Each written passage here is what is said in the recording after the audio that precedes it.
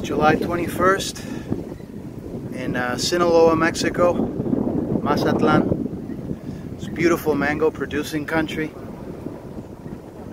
Here in a 150 hectare field, we have uh, several uh, mango varieties here. We're looking at uh, the Ataulfo variety, Tommy Atkins, Kent, and Keitt. The most commercial mangoes in the world. It's organic field. It's a wonderful thing to be here.